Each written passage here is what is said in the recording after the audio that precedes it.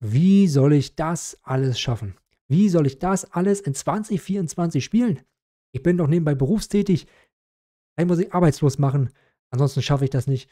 Aber das wird eine ganz wilde Nummer und ich freue mich tierisch drauf. Freunde der mittelmäßigen Unterhaltung, ich grüße euch. Ich weiß, ich weiß, 2024 ist schon etwas weiter fortgeschritten und jetzt kommt hier der Dödel um die Ecke und will nochmal seine Highlights in 2024 präsentieren. Macht man das nicht zum Jahresanfang? Doch, recht habt ihr. Aber ich habe es einfach nicht früher geschafft. Deshalb gebe ich jetzt meine Highlights 2024 zum Besten. Frei nach dem Motto, besser spät als nie. In diesem Sinne, ähm, da ich ja auch nur hauptsächlich JRPGs spiele, wird das so ein kleines Highlight, was äh, JRPG-mäßig in 2024 abgeht. Das Ganze ohne Skript, ähm, ohne Vorlage.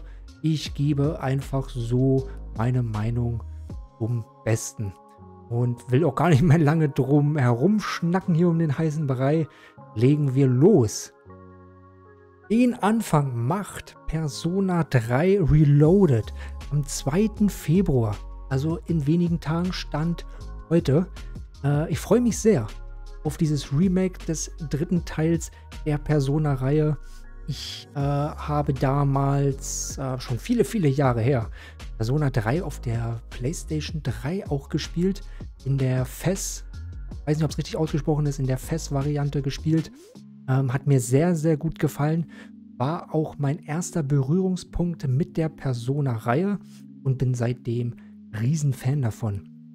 Äh, ursprünglich auf der PlayStation 2 erschienen soll das ähm, gar keine großen Twists oder Wendungen einnehmen. Also es ist nochmal das Hauptspiel, ähm, nur neu aufgelegt, bessere Grafik, äh, ans Moderne oder in die Moderne gebracht.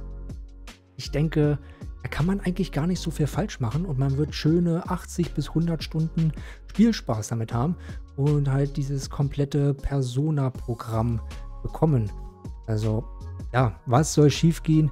Ich freue mich sehr drauf, ähm, das Ganze nochmal zu erleben, jetzt äh, viele Jahre später. Also da liegen wirklich schon einige Jahre dazwischen. Dann kommt im Februar, am Ende Februar, ein riesen dicker Knaller mit Final Fantasy VII Rebirth am 29. Februar. Für mich wahrscheinlich Game of the Year. Also das Ding wird komplett durch die Decke ging. Ich habe so viel Bock drauf, das kann ich gar nicht in Worte fassen. Die Story geht endlich weiter. Wie wird sich die Open World gestalten? Wie ist das mit dieser alternativen Zeitlinie? Was ist mit Zack, was man da sieht? Äh, was wird sich verändern? Wird Errol sterben? So viele Fragen und sie alle werden hoffentlich beantwortet. Zudem sieht das wieder richtig lecker aus. Äh, die Charaktere sehen lecker aus. Ein Sid sieht knackig aus. Ein Vincent sieht knackig aus. Was will ein Final Fantasy Fan mehr? Mehr geht nicht. Und äh, das Ding wird, glaube ich, komplett alles sprengen und durch die Decke gehen. Ähm, Urlaub ist genommen, dass ich das so schnellstmöglich durchsuchten kann. Also ich freue mich tierisch drauf. Das äh, wird auf jeden Fall ein richtig dickes Highlight in diesem Kalenderjahr. Ähm, ich selbst habe da schon zum letzten Trailer, ich weiß gar nicht welcher Trailer es war, eine kleine Reaction gemacht. Werde ich oben mal mit äh, rein verlinken. Kann man bei Bedarf gerne mit reinschauen. Dann geht es im März ein bisschen ruhiger zu. Und zwar kommt dann am 22. März The Legend of Legacy HD Remaster. Sagt den einen oder anderen jetzt vielleicht nicht so viel, ist glaube ich auch ein bisschen mehr so der Geheimtipp. Ähm, ursprünglich auf den 3DS erschienen und hat auch gar nicht so gute Kritiken damals bekommen. Ich habe jetzt noch kurz vor dem Video noch mal ein bisschen reingelesen und war erstaunt, wie schlecht das Spiel damals abgeschnitten hat. Umso gespannter bin ich, was jetzt dieses HD-Remaster mit sich bringt. Klar, bisschen Aufhübschung, der Grafik, aber vielleicht hat man das Spielprinzip dann doch noch mal ein bisschen verbessert, ein bisschen knackiger gestaltet. Handlung ganz kurz zusammengefasst, da gibt es so eine Insel, einen Kontinent, der aufgetaucht ist namens Avalon Und ähm, mit einer hellen Truppe geht man jetzt rauf und erforscht die Insel.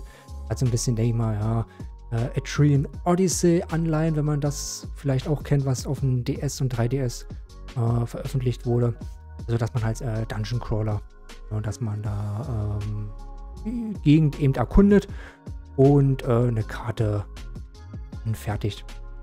Das Besondere dabei ist, ähm, dass sowohl die, die äh, Aufstellung der Charaktere einen gewissen Twist mit sich bringt, ein bisschen taktische Tiefe mit reinbringt, also je nachdem, wo die Figur steht, ähm, ändert sie ihre Rolle, wenn ich das richtig interpretiert habe, oder äh, ihre Fähigkeiten. Also auf jeden Fall, Formation spielt eine wichtige Rolle und man kann acht Klassen meistern, beziehungsweise acht Waffentypen kann man meistern. Also auch dadurch erhoffe ich mir ein bisschen Varianz und ich erhoffe mir einfach ein bisschen was knüppeldickes, hartes, Dungeon Crawler-mäßig, wo man noch ein bisschen mehr, äh, ja, Hirnschmalz vielleicht reinbuttern muss, auch ein bisschen Grind mit drin ist.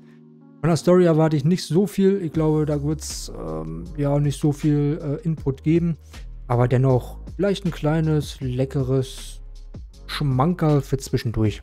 Also auf jeden Fall, ähm, ja, ich freue mich drauf und werde das auf jeden Fall spielen. Dann, einen Monat später, am 23. April, kommt ein wunderbares Spiel, dessen Namen ich nicht aussprechen kann, wirklich. Ayuden Chronicle 100 Heroes. Ähm, ich würde mal sagen, ein geistiger Nachfolger von der äh, von Suikon, vor allem von Suikon 2, wo man auch viele Charaktere rekrutieren konnte.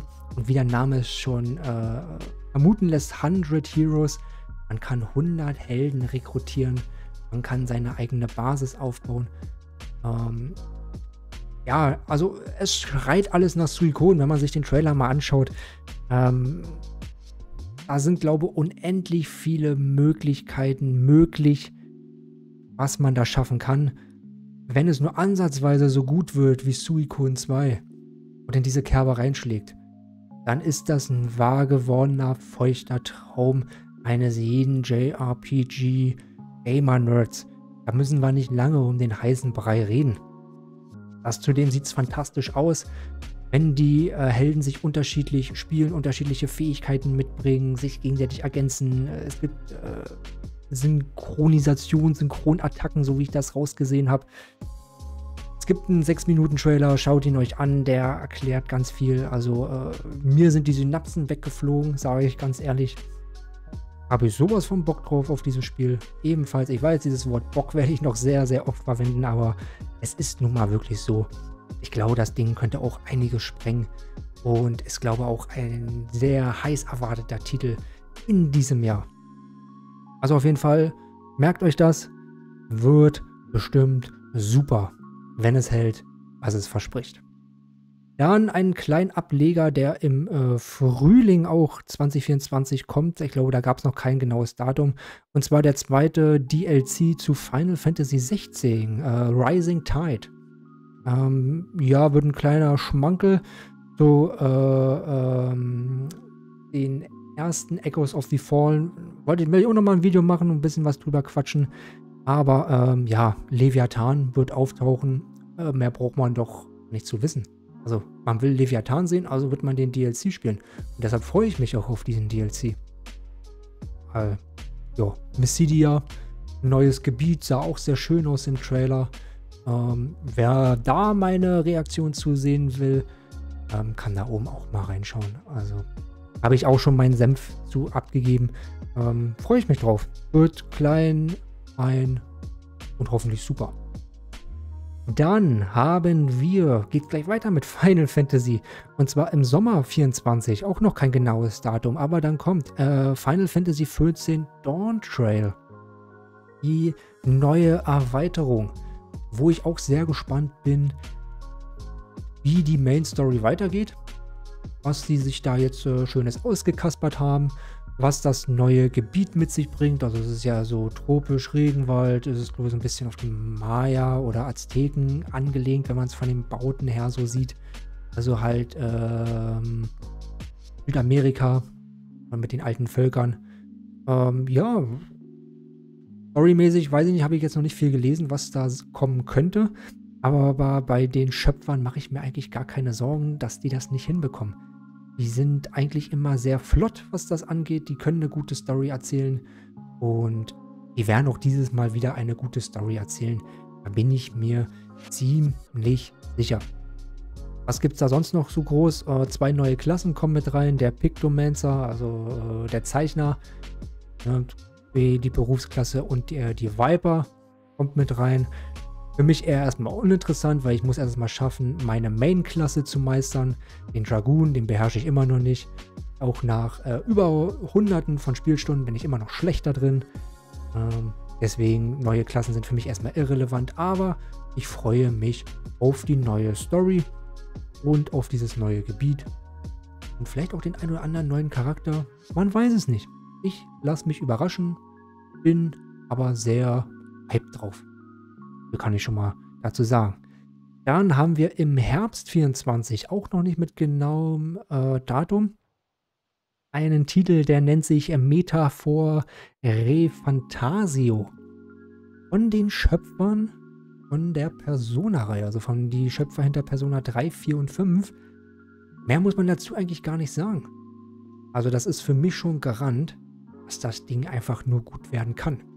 Und wenn man sich die Trailer dazu ansieht, dann sieht dieses Ding auch einfach fantastisch aus. Also ähm, storymäßig habe ich jetzt noch nicht so viel mitbekommen. Ich habe mich ein bisschen mit eingelesen, dass da äh, mehrere Stämme sind, die erstmal um den Thron kämpfen. Es gibt ein gewisses Volk, was ähm, unterdrückt wird, wozu auch der Hauptprotagonist zählt, weil er Magie wirken kann, ist er eine Gefahr für die Welt und wird deshalb unterdrückt oder seine Rasse wird unterdrückt. Und äh, ja, was der große Storyplot ist, was da passiert, da muss man sich dann am Ende überraschen lassen. Oder ich lasse mich da auch gerne überraschen und will vorher gar nicht so viel wissen. Was ich weiß ist, es sieht fantastisch aus. Das Kampfsystem sieht fantastisch aus. Es sind die Schöpfer der Persona-Reihe dahinter. Die können auf jeden Fall eine gute Story erzählen. Mehr muss ich nicht wissen. Ja, ich vertraue diesen Leuten und ähm, lasse dieses Spiel einfach mal auf mich zukommen und wirken. Aber ich bin mir da ziemlich sicher und lege dafür meine Hand ins Feuer, dass das definitiv ein Highlight im Jahr 24 wird, was den JRPG-Bereich an. Also, auf jeden Fall auf der Liste haben das Spiel. Ich werde es mir gönnen. Zu guter Letzt habe ich dann noch ohne Datum, aber auch für 2024 ähm, angekündigt Visions of Mana der neueste Eintrag in der Mana-Reihe. Wer die Trailer gesehen hat, wird auch wieder sehen, ein fantastisch schönes Spiel. Es sieht sehr schön märchenhaft aus. Eine märchenhafte Landschaft. Ähm, es hat diesen typischen Secret of Mana oder ich meine dieses, aus diesem Mana-Universum. Diesen, diesen gewissen Stil. Also man fühlt sich sofort heimisch, wenn man noch die anderen Spiele dazu gespielt hat.